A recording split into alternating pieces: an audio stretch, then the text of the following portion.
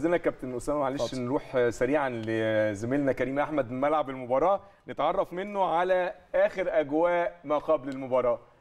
كريم.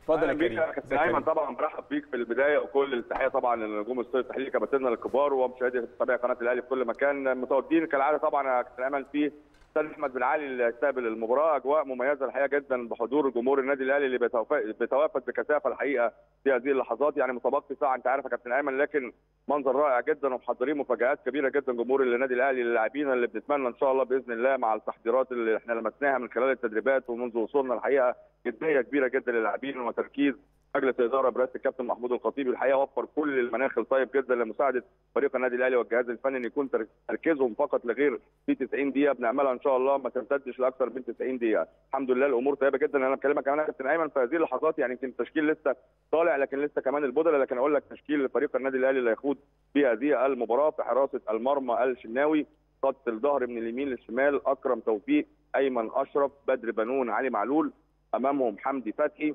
أمامهم أيضا عمرو السوليه وأليو ديانج على الأطراف محمد مجدي قفشة وحسين الشحات وفي الأمام بيرسي تاو يمكن ده التشكيل الحقيقة اللي كان شغال عليه بيتسو موسيماني خلال ال 48 ساعة تحديدا الماضية في التدريبات الأخيرة بحفظ الحقيقة اللعيبة كل الجمل التكتيكية والحقيقة يمكن دارس بشكل كبير جدا فريق الرجاء من خلال المتابعات والمشاهدات. إن شاء الله بإذن الله كابتن ايمن تكون إدارته الفنية بيتسو موسيماني مميزة جدا كالعادة في المباريات الكبيرة. وأيضا كمان لاعبتنا النهارده محتاجين منهم تضحيات كبيرة جدا مجهود كبير الحقيقة عارفين إن هو بذل في كأس العرب. بالنسبة للاعبينا طبعا لمنتخبنا الوطني لكن خلاص إحنا دخلنا في أجواء جديدة دخلنا في بطولة قارية جديدة هتفرق مع النادي الأهلي بشكل كبير وإن شاء الله بإذن الله ثقتنا كبيرة في اللاعبين إن إحنا نقدر نرفع السوبر ويتربع النادي الأهلي على عرش أفريقيا للموسم الثاني على التوالي بالإصرار والعزيمة والجدية المعروفة عن لاعبي إن وجمهور النادي الاهلي شاء الله. كلمني عن الأجواء في الملعب وأخبار الجماهير إيه؟